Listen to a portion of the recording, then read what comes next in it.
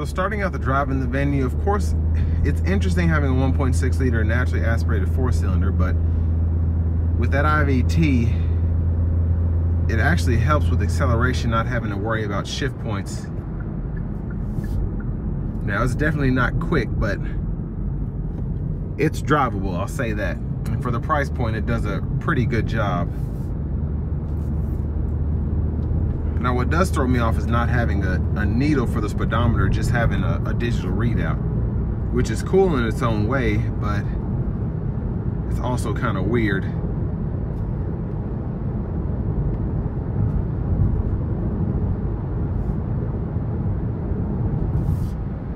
But overall, ride quality is pretty good for this kind of car. Sound acoustics, of course, are not the best, but not terrible, really not bad.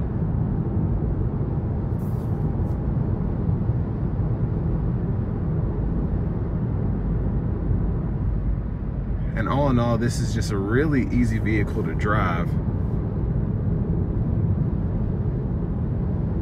Now this lane keeping system is interesting because I don't know where the button is for that. Now I knew it comes it came standard with the lane keep assist, but I didn't know it would if it would serve as a lane centering or not. And we'll test it out when we get on the interstate. And we'll put it in the sport mode now. Which of course keeps that engine revved hot.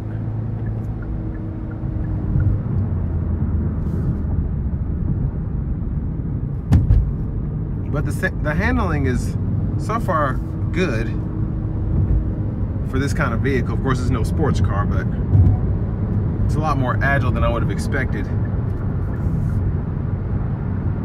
And in this sport mode especially, it does get up to speed as it should. Let's turn the cruise on now.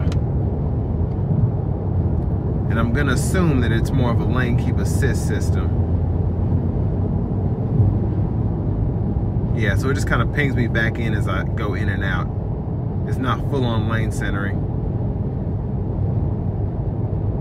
But still it does ping you back in. So it's not something where you want to like take your hands off the wheel even for a second but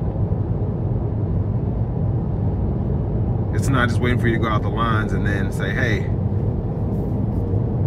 Now coming down that stretch of the interstate doing around the speed limit 65 70 ride, I could feel a little bit in the pedals, but other than that, the ride itself was relatively good. And the seats are, they feel really supportive, surprisingly. I wouldn't expect them to feel this firm. I think a lot of it is because it is skinnier. I feel like my body is wider than the seat itself, which I haven't felt that in a while, but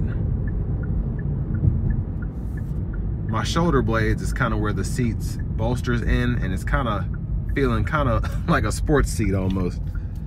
So take that for what it is.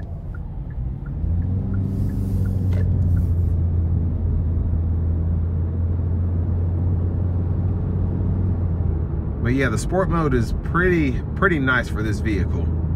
Like I said, it's no sports car and it it's not fast, but the sport mode the sport mode does get you going for this kind of vehicle. And then speaking of which, when it comes to vehicles in the segment, you pretty much have the the Versa kinda. It's, it's so weird. Maybe the Rogue Sport. The Hyundai makes such interesting vehicles that you never really find a true competitor to it. Maybe a Kia Soul would be pretty close and I do feel like the powertrain compared to the Kia Soul is better in this but of course they're gonna be close to twins as they both come from the bigger company, the parent company, excuse me. But maybe a Corolla Cross, a Corolla hatchback.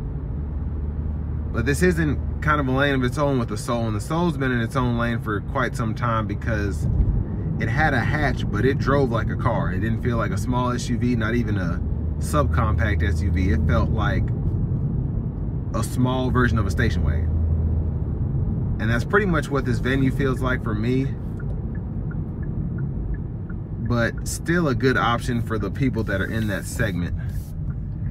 If you tend to drive by yourself, you want to be able to fold the seat flat and haul all your knickknacks or whatever, this is good for that. And then you're staying below 25 grand sticker price. So for the money, if you're in the market for one of these, this is one of your few options. So still a good car in that sense. But this will bring me to the end of my review of the new 2023 Hyundai Venue SEL.